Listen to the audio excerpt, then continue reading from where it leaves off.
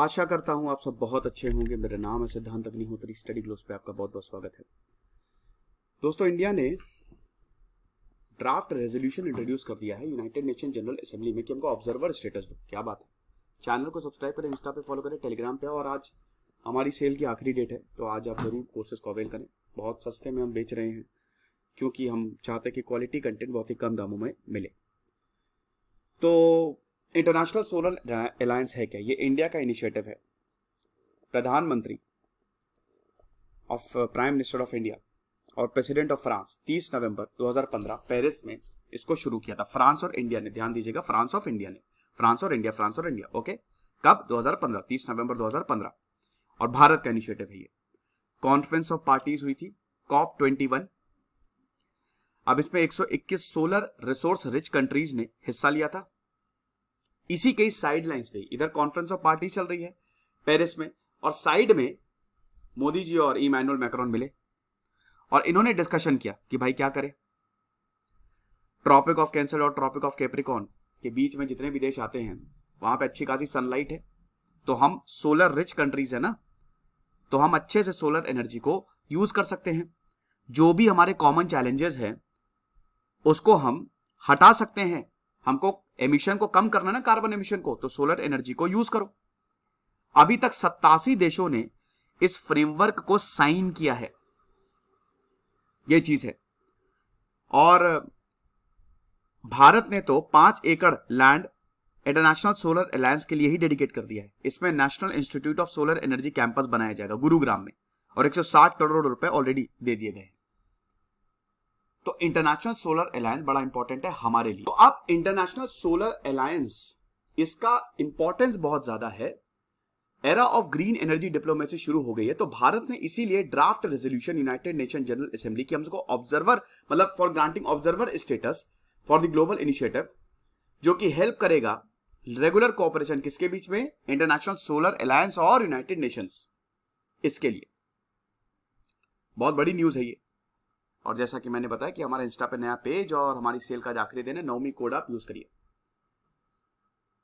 तो यहाँ पे जो हमारे टी एस तिरुमूर्ति हैं, भारत के permanent representative united nation ambassador हैं, उन्होंने कल ये बोला कि ये मेरा ऑनर है कि मैं ड्राफ्ट रेजोल्यूशन इंट्रोड्यूस कर रहा हूँ for granting observer status for the international solar alliance on behalf of India and France क्या बात है? इंटरनेशनल सोलर अलायंस क्या करेगा? सोल्यूशंस लेके आएगा सोलर एनर्जी को डिप्लॉय करेगा। ये एक नया एरा है ग्रीन एनर्जी डिप्लोमेसी में। ये यूनाइटेड नेशन जनरल असेंबली में बताया।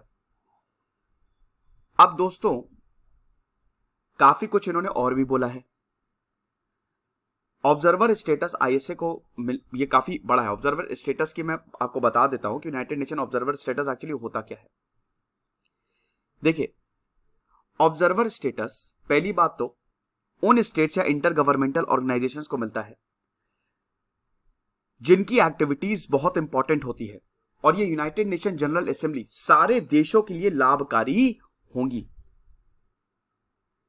अब, इंटरनेशनल सोलर अलायंस का ऑब्जर्वर स्टेटस का मतलब यही कि जो भी यूनाइटेड नेशन जनरल असेंबली की मीटिंग्स होगी, आप वो कर सकते हैं, कोई इशू नहीं है।